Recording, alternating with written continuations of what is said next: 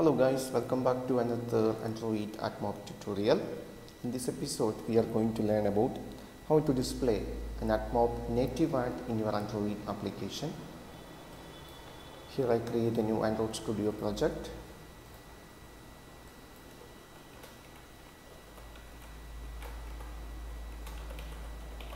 Here I name it as native ad example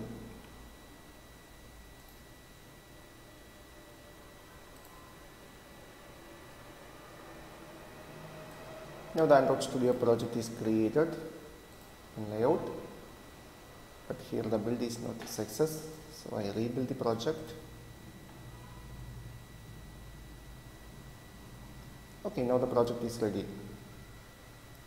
So first up we need to integrate the Google Mobile Ads SDK to this Android Studio project. Open your browser and search for Android AdMob go to the official documentation from AdMob select the get started page. Yeah you have to add the google maven repository. It is already added for every android studio project. Copy this dependency. Open gradle scripts. Open module level gradle scripts. And paste that line here. And sync project okay project finishes successfully. Now again go to the documentation. You need to add this metadata tag within the android manifest.xml open manifest folder. Open android manifest.xml you have to paste it within the application tag. Now here you have to provide your application id here i am going to use a test app id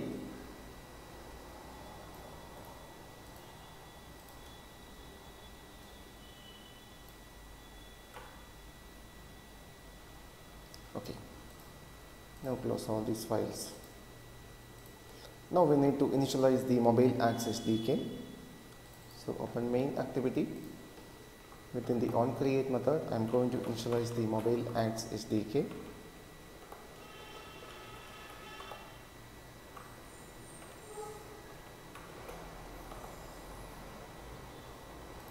so here I initialize the mobile ads SDK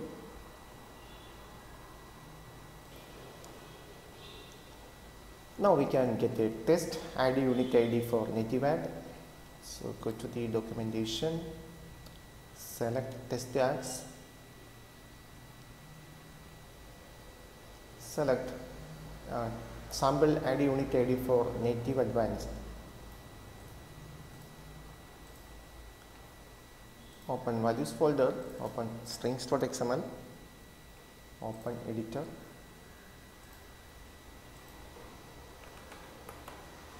Native ad ad unit id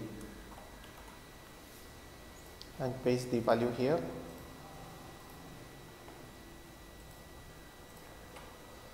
Okay so now uh, for display the native id unit i'm going to use the native id unit template. So we have to download the template and we need to add the template as a module to the android studio project.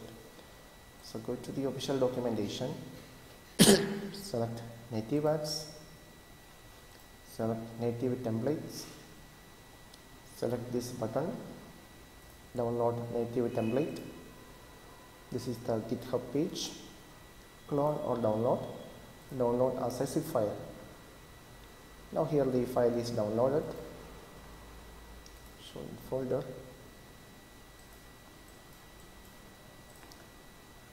Now I am going to extract the content of this file, extract to this folder. Okay. Now go, to, go back to Android Studio project, select file, new option and import module. Go to the download folder. Go to users, my name, go to downloads. This is the downloaded file open that one and select the folder called native templates. Click ok and click finish. So here we successfully add the native here successfully add the component. Now the project sync project sync is in progress.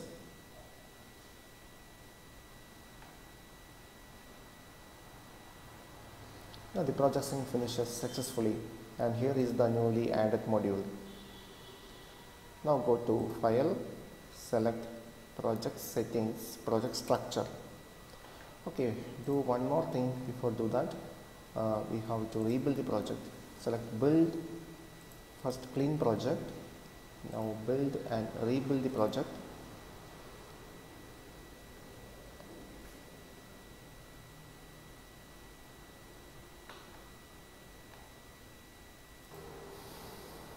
so here the project rebuild finished successfully. Now select file open project structure go to modules. This is the newly added module. Now select dependencies dependencies. And here click this arrow and select add a module dependency. Yeah, it is not shown here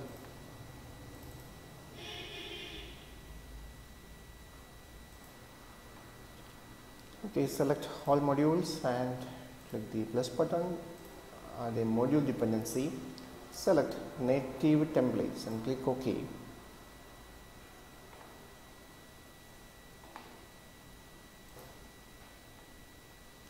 Okay it's not working. I close the project. Close this project. Now open it again. Okay now clean the project again.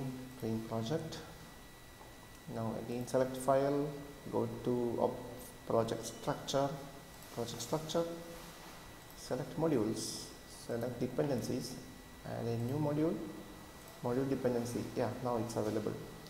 Now select this one native templates and click ok. Click apply. Click ok. Now open the module level gradle file.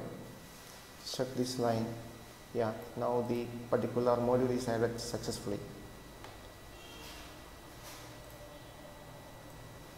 Okay now open the layout for the main activity. Open the source file open layout. On the layout for main activity.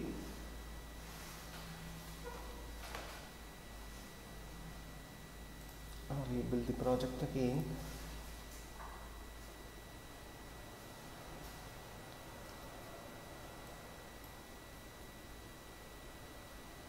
okay now it is ready. Here there is a text view. And delete the text view. Now change this one into blueprint. For my listeners I just I, am going to add a text view to this layout. Add a text view. Create constraints on the left left and right side. Also create constraint at the top side. Okay.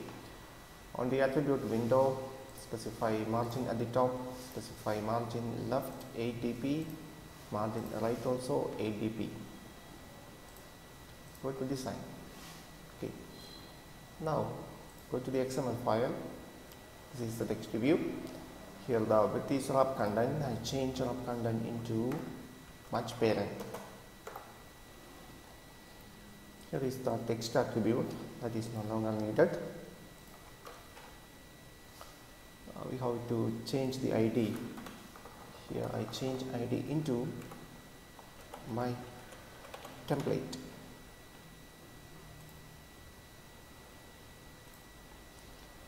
So here we don't need this text view. Instead we need some template view for the native ad so go to the documentation. Yeah we need this one. Template view. The native templates dot template view copy this line.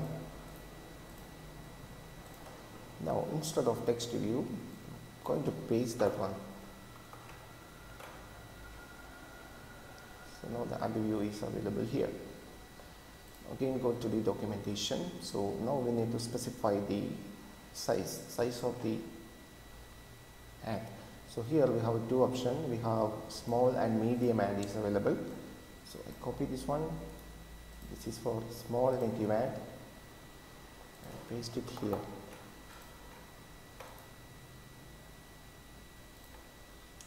So now we have a small native ad so I am I'm going to change this one into medium.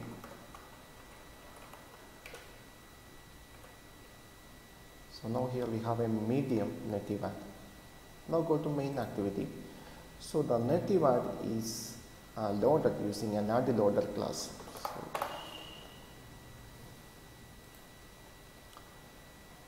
so first create variables for ad loader builder. Ad loader dot builder new ad loader builder. This need two parameters. First one is context and second parameter is the ad unit ID. So we already save it in the strings.xml native ad unit ID.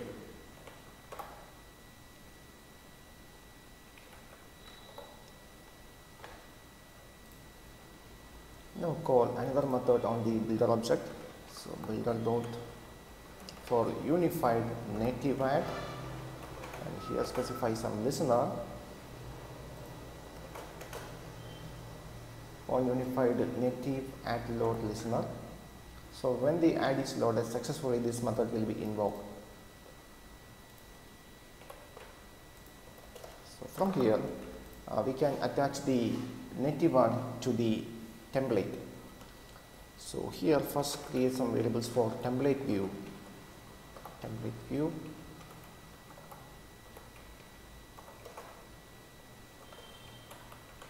view by id or root id our id is my template.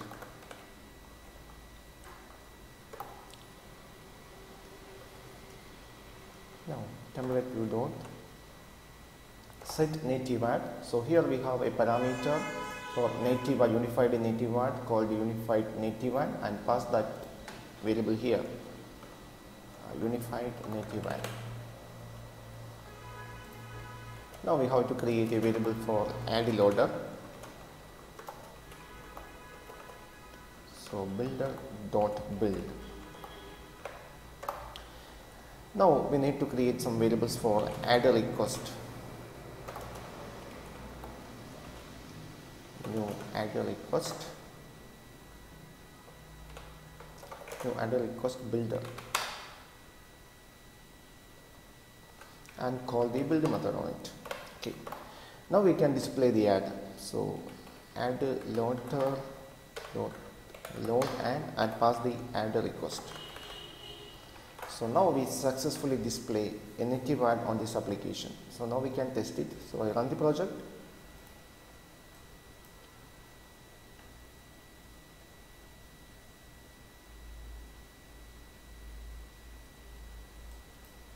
Yeah.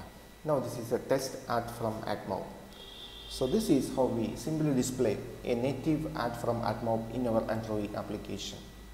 I hope you understand the concept. For getting more Android AdMob tutorial, please subscribe this channel now.